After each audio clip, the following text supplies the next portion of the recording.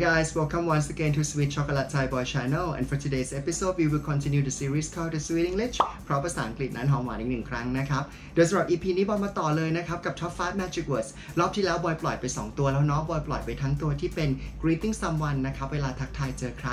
แล้วก็ไปถึงเรื่องของ saying goodbye ในการที่จะบอกลาบายบายใครนะครับ มาตัวที่ 3 ในวันนี้นะครับ EP นี้จะเป็นเรื่องของ Top 5 Magic Words of apologizing apologize คืออะไรนั่นคือการขอโทษนะครับเวลาที่เราจะขอโทษใครก็แล้ว แต่มันไม่ได้มีแค่ I am sorry sorry มันไม่ใช่จบแค่นั้นเนาะ เพราะฉะนั้นเราก็ลองมาดูกันล้วกันว่าไอ้ห้าตัวอย่างที่บอยนำมาให้ใช้เนี่ยนะครับ ลองลองลองฝึกแล้วก็ลองจำไปใช้ดูนะครับ ว่ามันมีอะไรบ้างเดี๋ยวมาดูกันนะครับ ตัวแรกเลยนะครับ แน่นอนยังเป็น basic simple เหมือนเดิมแต่พูดให้คล่องแล้วกันนะ I am so sorry I am so sorry ฉันเสียใจมาก ๆ เลย I am so sorry for your loss ฉันเสียใจมาก ๆ เลยสำหรับการสูญเสียของคุณ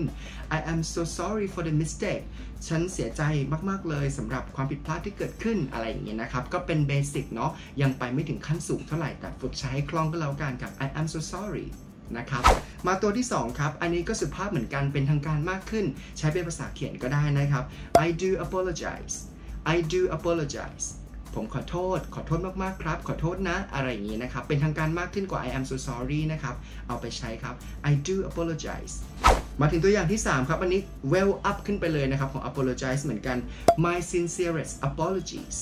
my sincerest apologies ขอโทษอย่างจริงใจเลยของฉันเอาไปเลย ขอโทษมากๆนะครับ ใช้เป็นภาษาเขียนได้เช่นเดียวกัน เหมาะสำหรับการใช้กับคนที่สูงกว่าเรา ครอบครัวคุณพ่อคุณแม่ คุณปู่คุณย่าคุณตาคุณยาย หรือกับ บรรดาเจ้านายเนาะบางทีเราเขียนอีเมลเลยครับ my sincerest apologies for the mistake that I have made อะไรเงี้ยนะครับ ขอโทษมากๆเลยกับสิ่งที่เกิดขึ้นอย่างจริงใจเลยในความผิดพลาดของฉันที่เกิดขึ้น I didn't mean to ฉันไม่ได้ตั้งใจอะไรอย่างนี้นะครับ แต่ว่าเอาจริงไม่ต้องไปจำอันนั้นหรอกจำแค่นี้ที่บอยบอกกันแล้วกันว่า my sincerest apologies นะครับ มาต่อกันนะครับ อันนี้อันนี้ยิ่งใหญ่เลยเอาไว้ใช้ส่วนใหญ่จะใช้สำหรับเวลาที่เราแสดงความเสียใจกับเพื่อนเรา หรือว่าคนที่เรารู้จักในเรื่องของเวลาที่มีใครสูญเสียของครอบครัวเขา หรือคนสำคัญของเขานะครับ my condolences my condolences นะครับ เสียใจด้วยจริง ๆ ขอโทษด้วยนะ ฉันเข้าใจเลย อะไรประมาณนั้นนะครับ my condolences นะครับ ส่วนใหญ่ก็ใช้กับเรื่องของงานศพอะไรเงี้ยนะครับ my condolences for your loss อะไรเงี้ยนะครับ เอาไปใช้ดูกันแล้วกัน มาถึงตัวอย่างสุดท้ายในวันนี้ของ Top 5 Magic Words of Apologizing นะครับ Please accept my humble apologies อันนี้ยิ่งใหญ่อลังการยาวเขียนได้พูดได้เอาไปเลยนะครับ Please accept my humble apologies รบกวนช่วยรับไปด้วยกับคำขอโทษอย่างจริงใจอย่างแบบ grounded อย่าง humble เลยอย่างความถ่อมตนของฉัน เอาไปเลยขอโทษจริง ๆ นะครับ อะไรประมาณนั้นนะครับ Please accept my humble apologies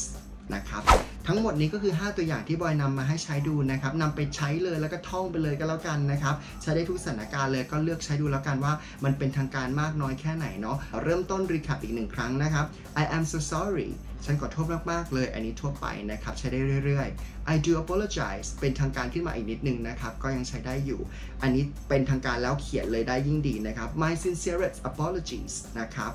My condolences อันนี้ใช้สำหรับงานศพเป็นหลักโดยส่วนใหญ่เลยนะครับอะไรที่มันสูญเสียมากๆ My condolences จะดีที่สุดนะครับ My condolences และอันสุดท้ายครับภาษาเขียนเหมาะสมมากเลยยิ่งยาวยิ่งดีนะครับ Please accept my humble apologies Please accept my humble apologies